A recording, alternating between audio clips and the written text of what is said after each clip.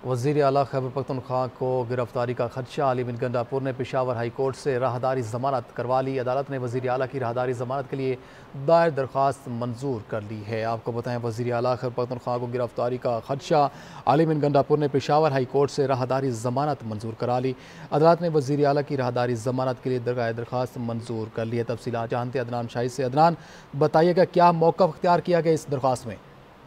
जी बिल्कुल, देखिए वजी अला खैबर पख्तनख्वा अली अमीन गंडापुर की राहदारी जमानत दरख्वास्त पर समाज जो है वो पिशावर हाईकोर्ट में हुई और समाज जस्टिस इश्तहाक इब्राहिम ने की है। अदालत ने वजी अला खैबर पख्तनख्वा अली गंडापुर की दो मुकदमात में राहदारी जमानत जो है, वो मंजूर कर ली है। अदालत ने अली अमीन गंडा को गंडापुर को पच्चीस अक्टूबर तक राहदारी जमानत जो है वो दी है। अदालत का दरख्वास्तदार को पच्चीस अक्टूबर तक मुतल अदालतों में पेश होने की हिदायत जो है, वो जारी कर दी गई है। वकील दरख्वास्तदार आलम खान एडवोकेट की एक अदालत ने दरख्वास्त जारी की कि वजी अला खैबर पख्तनख्वा ने राहदारी जमानत से हाईकोर्ट में दरख्वास्त जो थी।